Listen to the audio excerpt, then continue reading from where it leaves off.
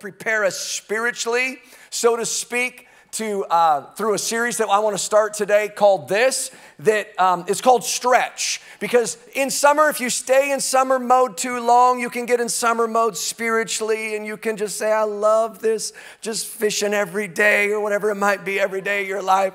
But how many of you realize following Jesus means He's going to stretch you every now and then? Stretch, it's the way that we grow. And God is so intent on us growing, He's not willing to us for us to stay in a summer mode spiritually. He's like, I want to, I want you to know God, I want you to find freedom, discover purpose, and make a difference. And for all of that to happen, we go on a journey called stretch. Tell your neighbor, stretch. Tell them, stretch. All right. So I want to read, I want to read a passage of scripture that's going to be our theme verse. So if you're physically able, will you stand up with me for the reading of God's word today? It's out of Hebrews chapter 10. Stretch the way we grow. Here we go, verse 24. Let us think of ways. Let us think of ways to motivate. Say motivate. motivate. All right, here it is. Motivating one another. This is the stretch. Let us think of ways to motivate one another to acts of love and good works. Okay, the reason the writer tells us we gotta think, we gotta get creative in how we can motivate one another is because we can all have a tendency to get into a summer mode spiritually. And every now and then, we need motivation from somebody else to kick us into acts of love and good works. Oh, is anybody in the room today? So let us think of ways to motivate one another and let us not neglect our meeting together as some people do, but encourage one another, especially now that the day of his return is drawing near. Let me show you in a couple different translations this first verse in verse 24. Let us consider one another in order to stir up. So, another way of saying motivate is to stir up love and good works. That's, that, that to me is that's a stretch. Now, in a, in a cowboy town. This I don't know if we're a cowboy town, but for the cowboys, we're in a cowboy town. I like this one. Let us consider how we may spur.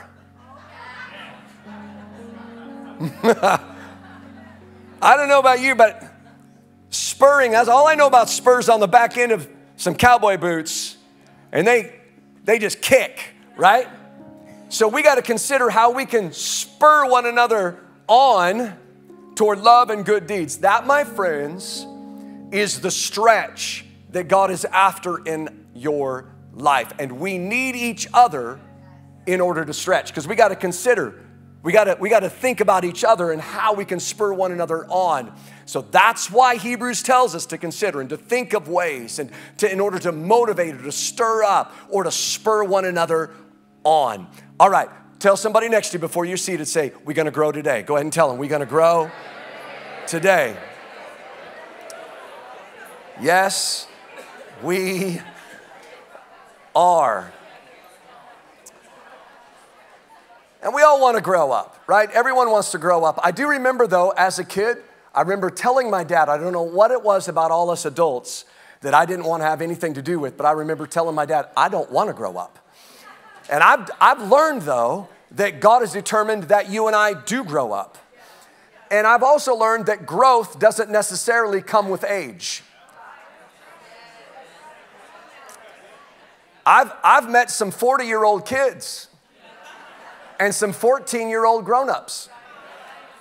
And I won't point them out in the room right now.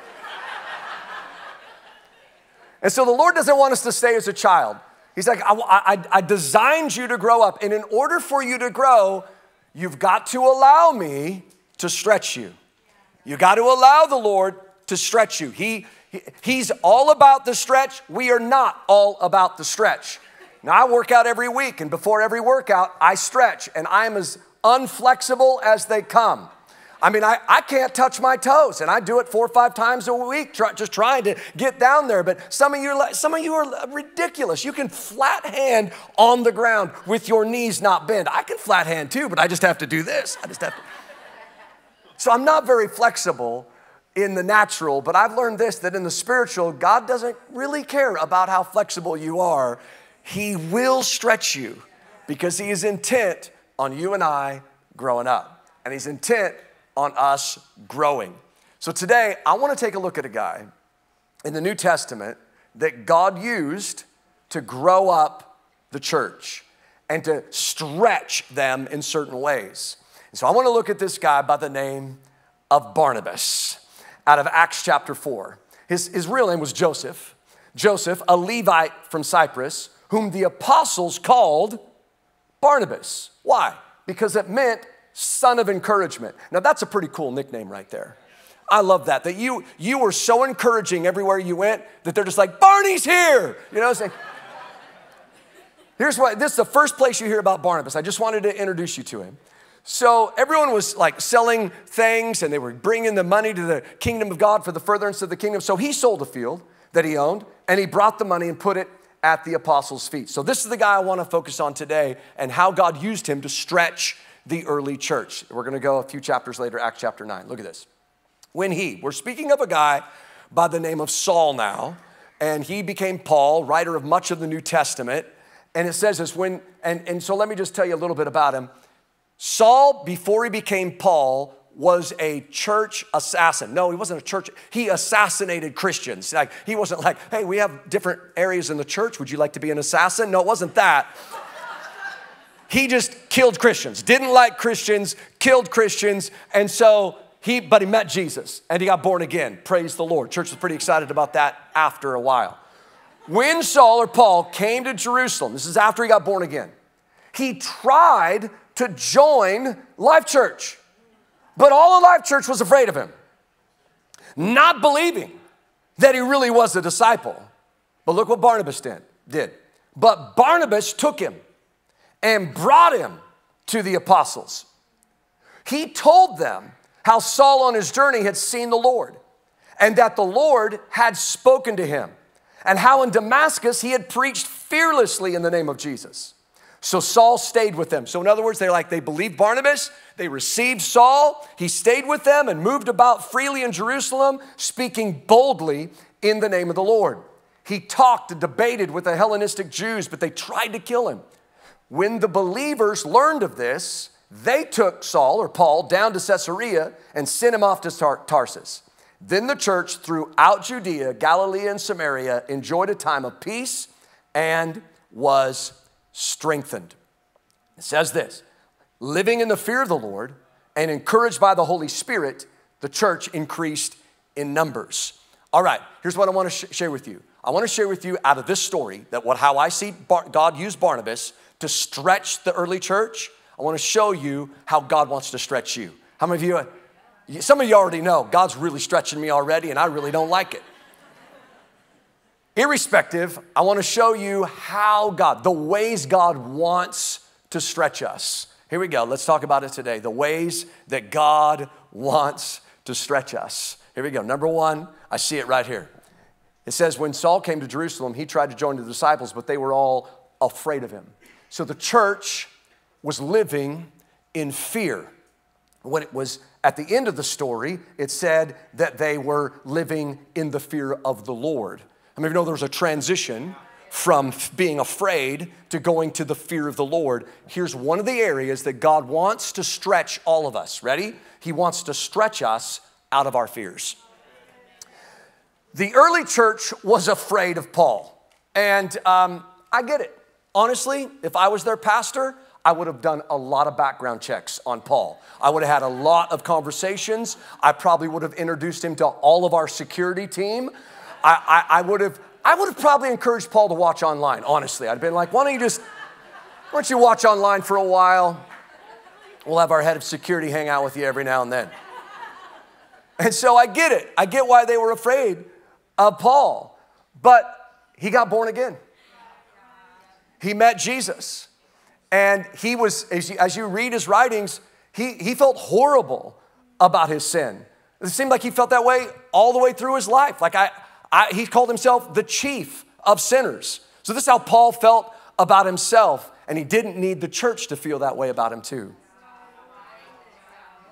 And so Barnabas, God used Barnabas to stretch the church out of their fears. And I'm here to tell you, God loves stretching us out of our fears. Can I hear an amen from somebody here? There's a guy by the name of Gideon in the Old Testament. And, you know, he's a part of God's people, the Israelites, and they're just overcome by the enemy, and they're, they're small in their own eyes, and he's hiding out in a wine press, threshing some wheat because he's afraid of the enemy. Guess what? God comes to Gideon, and he's like, hey, mighty man of valor, I'm gonna use you, raise you up as a mighty warrior, and you're gonna lead my people to victory over the enemies of God. He's like, huh, no, thank you. I love serving the Lord right here in my protective wine press, which is really really how a lot of us are. We like we believe in the Lord and we can have areas of our life where we have great faith and we stretch out, but there's areas in all of our lives somewhere where we like hanging out in a wine press and that's the area that God will go after and say, "Come on, I want to call you out like I did Gideon. I want to get you out of your hiding and I want to stretch you out of your fear." God's intent on it. He's like, He sees the areas of fear in all of our life. And we think that we can just keep running away from it. But no matter which direction you go, we're like Jonah. It's like, I'll run away from God. We get on a boat, pay the fee to go in the opposite direction of where God's sending us. And the Lord finds him in a storm on a boat. How many of you realize you cannot run away? And you really, God won't let you run away from your fears. He's like, you got at some point following the Lord, He has you face them. He'll have you face them, and He's stretching us out of our fears. There's a guy by the name of Joshua, and he was a, he was when he became the leader of God's people, he, he followed a guy by the name of Moses. Everyone's heard of Moses pretty much, even if you've never read the Bible. We've heard of Moses. He, he was such an amazing leader and spent time in God's presence in such great ways that his face glowed. How many of you'd like to follow that leader? right? Moses is gone, your turn. It's like, man, my face doesn't glow. it's like, yeah, but, and so this is what the Lord told him do not be afraid. He goes, be courageous. Do not be afraid. Be courageous. And he just kept repeating himself to Joshua. Said it over and over and over again. Don't be afraid. What is he doing to Joshua? Same thing he does to us. I'm stretching you out of your fears. Some of you know you're called to be a leader, but you're afraid of being one. Some of you know you're called to be married, but you're afraid of, of being married. Some of you know you're supposed to have kids, but you're afraid of your kids. and there's a good reason for that. I get it. but God has a way, no matter how far we run the opposite direction, He has a way of finding us there. Because it's like, I don't want you to stay 14. I want you to grow. And the way we grow is in the stretch. And so he will stretch us out of our fears. Many people are missing out on some of the greatest joys of their life. Some of them are missing out on some of the greatest relationships in their life because of fear. They're afraid they won't be liked. They're afraid that they'll lose trust.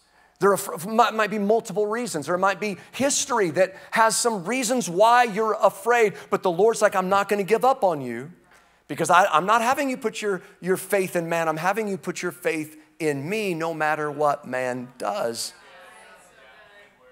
And I'll stretch you out of your fears. I remember as a kid, I was afraid. And not that I haven't been afraid as an adult, I have, but I was afraid of cooked spinach.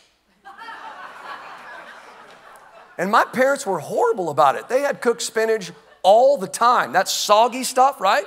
And it wasn't just cooked, it wasn't just steamed. Then they poured some horrible smelling vinegar on it. That's child abuse. It's like, it's bad enough without the vinegar poured on. And then they just poured vinegar on it. It's like, man, I hated that stuff. I was afraid every time that I could smell the vinegar, I could smell the spinach. It's on the table. And then I grew up and I thought, you know what? I'm to try this again. And guess what? It's just as bad as I remember it.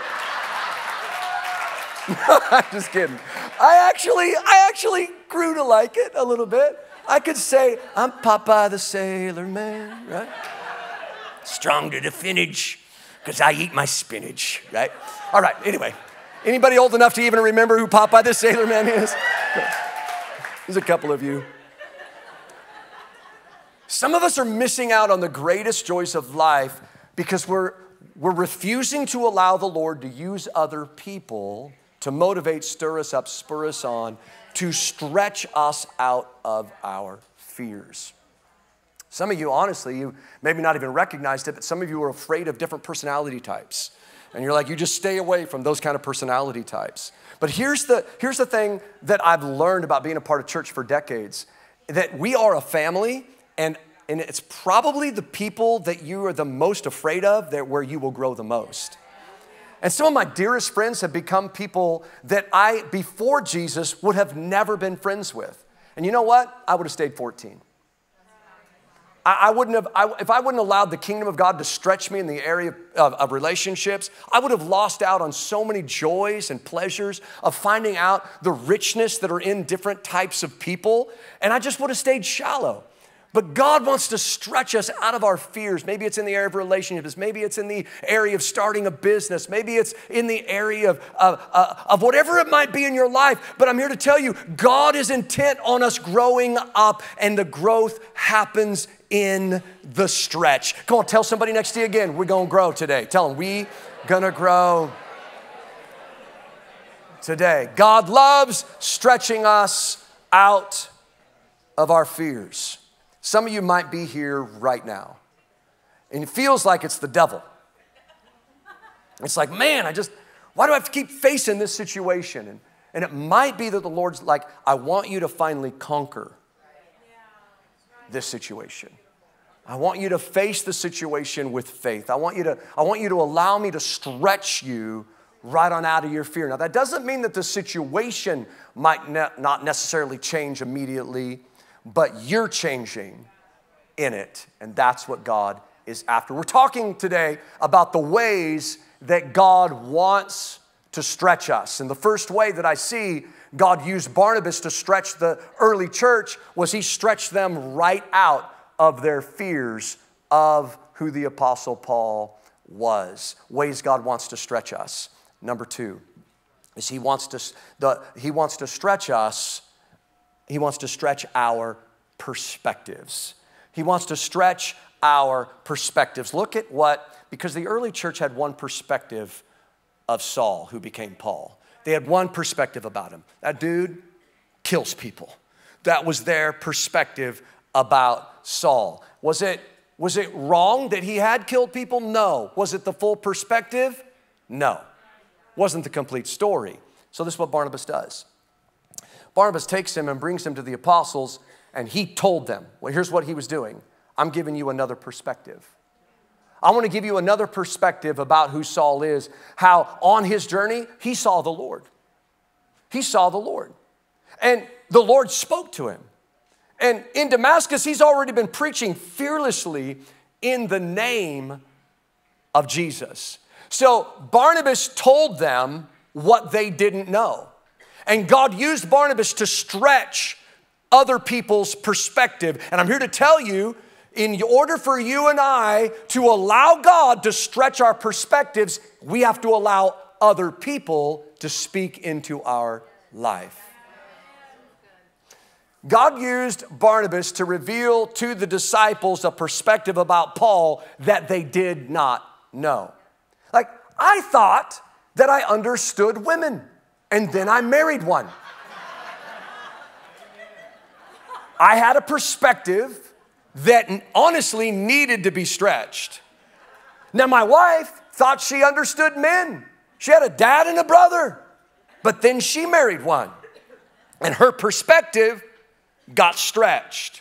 You see, when before I got married, I had a perspective that I thought a good conversation lasted a total of one minute. I thought a minute conversation was pretty deep. I thought that was pretty good.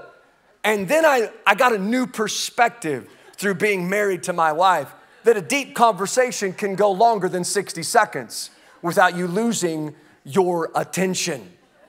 God uses people in our life to stretch our perspective. And that's why Hebrews says, motivate one another, think of ways think of ways and consider one another and how you can spur one another on and how you can stir one another to love and to good works. God used a Barnabas in my life to change my perspective and to stretch my perspective of what church could be. You see, before I ever knew about a church like this, I grew up Catholic for the first 15 years of my life. And then the next 15 years of my life, I was a part of an Assembly of God church. And in that, in, in those two experiences of my, of my life, all I knew up to that point was I just, I, I would call it a denominational perspective about church. Which if you, if you grew up in a denominational church, and nothing against denominations. I, I, I, love the body of Christ. I love my Methodist brothers and sisters and whatever, Presbyterian, all of them, right? But when I was just in a denomination, that's all I had known.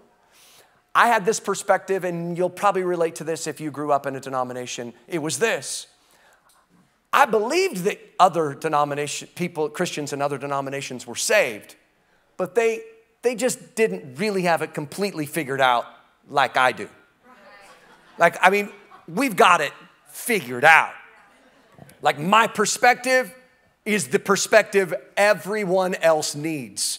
If that's your perspective right now, God wants to stretch your perspective. And so God brought a pastor into my, our lives from Brooklyn Tabernacle in New York City, and he was on staff there and moved to Walla Walla and stretched our perspective. And I didn't understand about this type of church. In fact, I thought you guys were all outside of authority because you were outside of a denomination. And I, I thought we, you all were rebellious. And God used him to stretch my perspective. And literally, that, that perspective change that happened through a Barnabas pastor in my life changed the course of my life. But God used somebody else. He used someone in my life to stretch my perspective. There's all kinds of theolo- theological camps within Christianity. We got Arminianism and we got Calvinism. And I was, I was trained biblically in theology in one camp. But then I got to know a brilliant theologian in a different camp. And you know what he did? Stretched my perspective. And rather than just be closed minded and shallow, how about we allow people into our world that stretch our perspective? Can I hear an amen today? Amen. And so God wants to stretch our perspective about life. He may want to stretch your perspective about church. He may want to, he may want to stretch your perspective about him. And there's one thing I began to understand about, about over time and reading, reading the Bible is that God is bigger than any one mind could ever contain. That's why I need other people in my life that love Jesus and who read their Bible, that just when the Bible is kind of one dimensional to me or I'm just leaning over to one theological camp and, and, and, and then I just, I, I, I let someone else just go, yeah, but what about these scriptures? And let them challenge your thinking. Yeah, but God's just, yes, How, but he's also merciful. And it's hard for one human mind to have a full revelation of the justice of God and the mercy of God simultaneously without passing out. Right? So I need others' perspective, and God wants to stretch our perspective about Him. And so we need one another in order for that perspective to be challenged and in order for that perspective to be stretched. An early church father, his name was St. Augustine. He's one of the greatest leaders of his day. Was uh, born in the fourth century and was very well, well written and very well known to be someone who knew God who knew God intimately. If you read some of his writings, you're like, wow, how deep is that? And on his deathbed, he was surrounded by some friends. And on his deathbed, as he breathed his last and he closed his eyes, a peace filled the room where all of a sudden his eyes popped back open and his face aglow, and he declared to those present, I have seen the Lord. All I have written is but straw. Then he closed his eyes and died again. St. Augustine, who had a perspective that was brilliant to me, that was amazing. Once he saw the Lord, God gave him one more chance to open his eyes to let us all know he's beyond whatever perspective you have. He's way better than you think he is.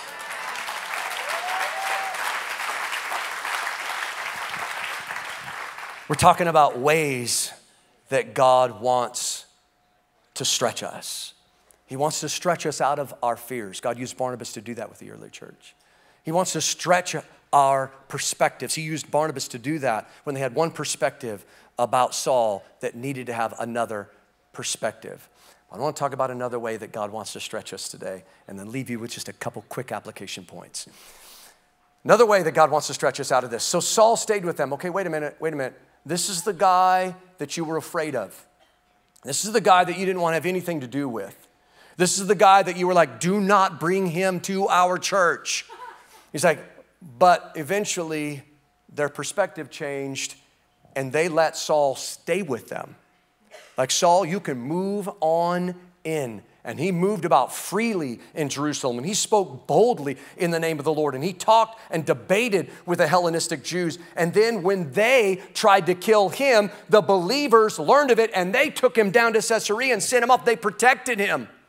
So the very ones that they were afraid of, they embraced, moved into our house, and then protected him. How did God use Barnabas to stretch the early church? They stretched, he stretched their love.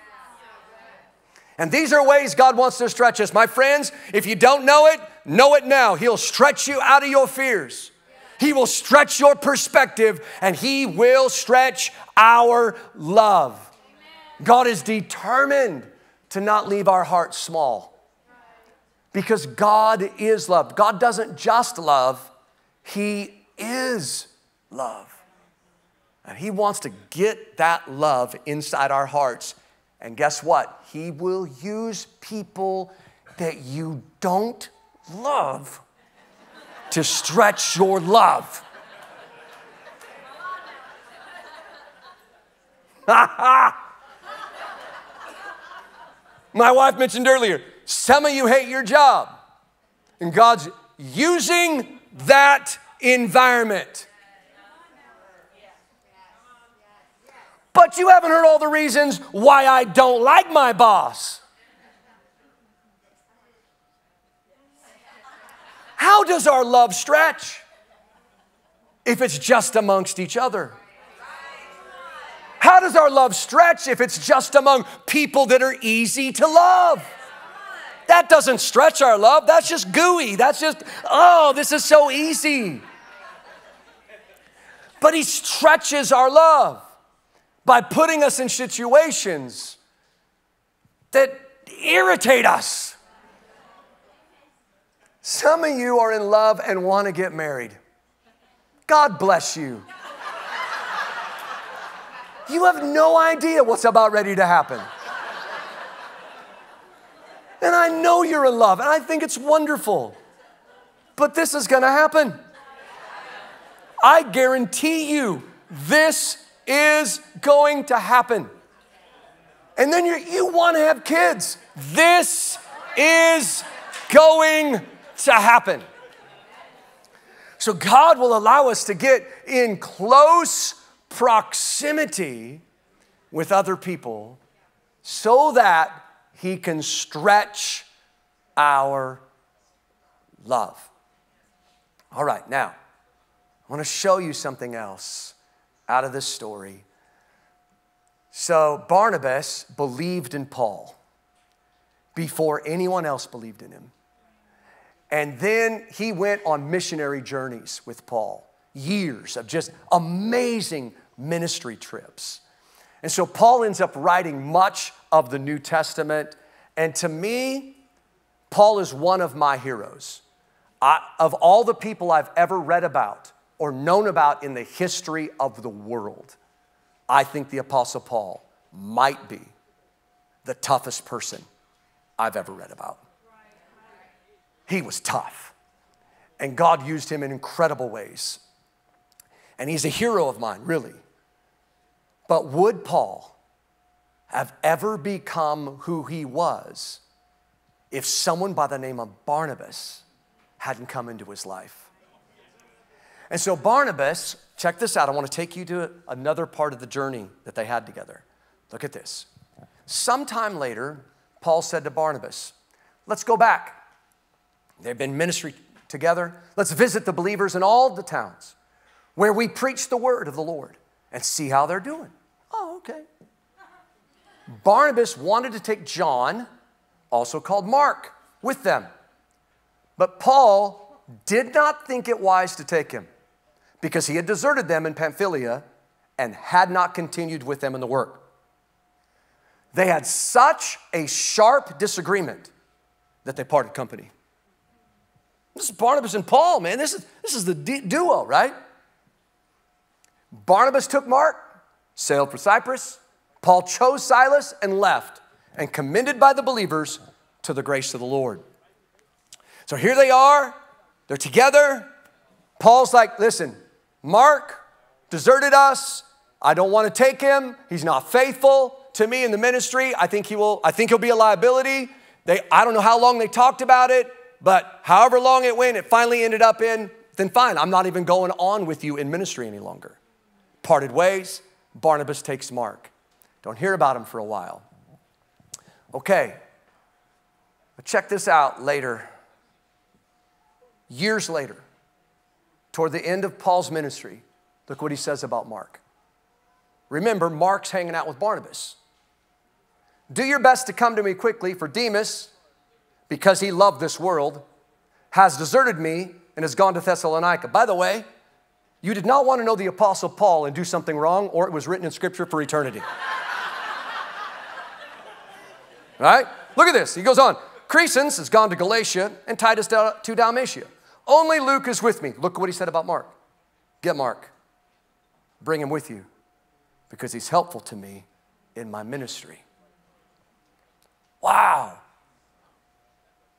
What, whatever Barnabas did over time with Mark changed Paul's perspective about Mark.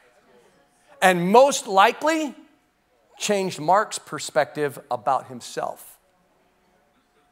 And where once in Paul's mind, Mark was disqualified because he hung out with Barnabas for a while he became qualified again. If we will allow Jesus to stretch our love, like, Jesus, like Barnabas allowed Jesus to stretch his love, just maybe someone who's disqualified by others might become qualified again. Because of scriptures like this, above all, love each other deeply because love covers over a multitude of sins. I'm here to tell you today the growth is always in the stretch. The growth is always in the stretch. God wants to stretch us out of our fears. He wants to stretch our perspectives and He wants to stretch our love. So I'm here to asking you a question Who are you allowing to stretch you? Who are you allowing to stretch you? Now, listen, I know so many of us immediately like, Lord, you can stretch me, but that's not what Hebrews says. Hebrews says, let us consider one another to figure out ways to motivate, stir up, and to spur one another. God uses the body to stretch us in the ways He wants to stretch us. If you are in the camp, just me and Jesus, and He's gonna stretch me, you are not allowing God to stretch you. Ooh, it got quiet on that one. Nobody liked it. Who am I allowing to stretch me? All right. I wanna, I wanna give you two thoughts. How do I grow in the stretch? and I learned this from Barnabas' life. How do I grow in the stretch? Number one, believe the best out of others. Did you, I didn't say believe the best of others. I said believe the best out of others. Barnabas believed the best out of the Apostle Paul and he became one of the greatest Christian men in the history of the planet. But Barnabas believed in him before the entire church ever did. But I believe he believed the best out of him. And when that guy, Paul, didn't believe in Mark anymore, Barnabas still did. Because I still believe in Mark. God will still use you. Come on, let's go, let's go find out. Let's go on a journey together. And he believed the best out of Mark in such a way that the Apostle Paul said, Get Mark and bring him with you. He's helpful for me in the ministry. I believe that when we believe the best out of others, we bring the best out of others. Oh, I want to be and live a life like Barnabas, who believed the best out of others, even when others didn't believe in them. And last but not least, to grow in the stretch, I'm going to believe the best out of people. And this next one might be the hardest. Stay in the tension of community. Stay in the tension of community. I didn't say stay in community because I want you to understand what community actually is. Genuine biblical community or community that stretches you has tension. Great marriages stayed through the tension. Great relationships stay through the tension. Deep fellowship and friendships happen through staying through the tension. And I read that story about Barnabas because there was deep tension. And I think Mark could have thought, you know what, Paul, I ain't going back with you. We had tension. And you didn't want me then, and I don't want you now. But he would have missed out on the blessing of the community that God had for him.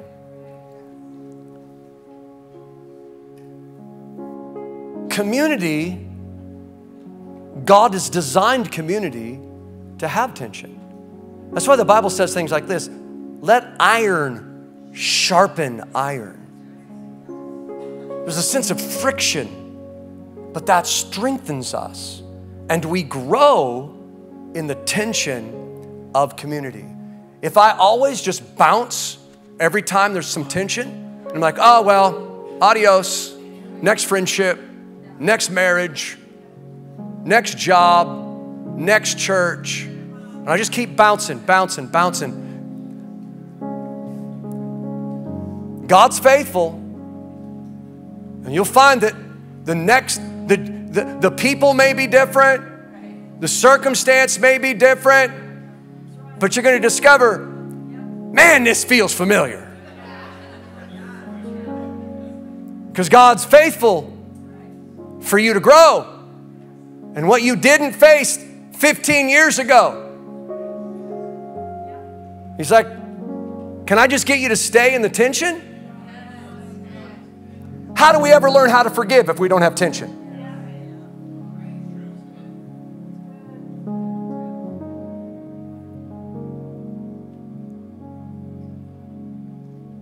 God's faithful to grow us up. And I just wanted you to see today the ways that He will stretch us. And no matter how much whining, He's like, I'm going to stretch you. Now, let me rephrase that. He wants to stretch you, but you can isolate. You have that choice. You have the choice just to live an isolated life, feel safe.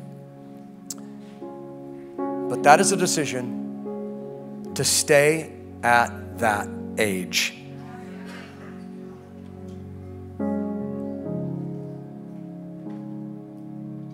So let's just stretch ourselves right into fall life groups. How's that for a plug? Yeah, but I did one in the spring, and I'm here to tell you, they were all weird. Find another one. They'll probably be weird too, but it's all good. Stay in the tension. Stay in the tension. I want to pray for you today. You bow your heads, close your eyes. Father, I thank you that you're faithful to grow us up. You're faithful to stretch us. I pray for those in the room right now that you're working on saying, I want to stretch you out of your fears. And I pray that that would happen. I pray you'd stretch perspectives.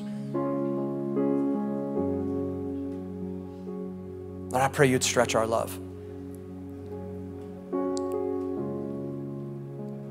We invite you to help us to grow as a people. Help us to believe the best out of others. And help us stay in the tension of community. And I pray that the joy and the pleasure of heaven will rest on your people even in the seasons of stretching. With every head bowed and every eye closed, if you're in this room and you are not sure if you have a relationship with this Jesus of which we speak of today, or you're pretty sure that you do not, this is your opportunity to get your right life right with Him. And He is one prayer away.